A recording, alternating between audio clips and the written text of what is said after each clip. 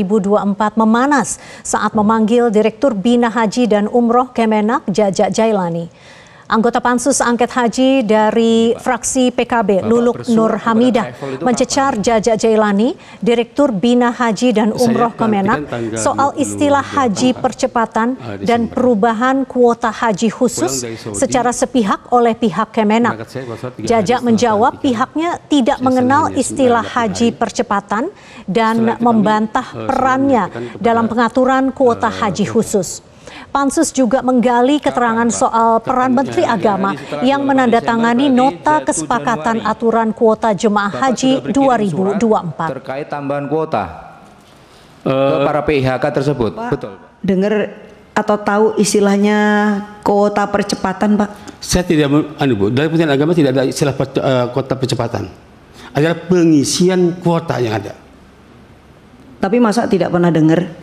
Pernah dengar, tapi dalam kebijakan Kementerian Agama tidak mengenal istilah percepatan, Bu. Yang adalah pengisian sisa kuota. Padahal pimpinan Bapak sendiri sudah pernah ngomong soal percepatan itu. Itu yang yang saya ketahui, Bu. Kalau pimpinan mungkin beliau lain lagi. Itu, Bu. Jadi secara resmi tidak ada istilah percepatan. Enggak ada percepatan. Jadi kalau yang 10.000 kuota haji khusus itu terbagi habis melalui Jadi pengisian tetap, Bu. Belum pada satu adalah kuota nasional, Apabila masih ada kekosongan maka akan diisi oleh nomor urut berikutnya berbasis PHK dan kesiapan jamaah. Bapak bagi, termasuk orang yang bagian untuk menentukan juga enggak? Saya tidak pernah posisi itu, Pak.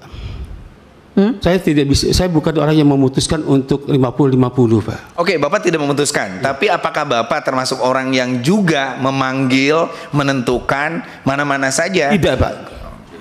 Jawab tidak.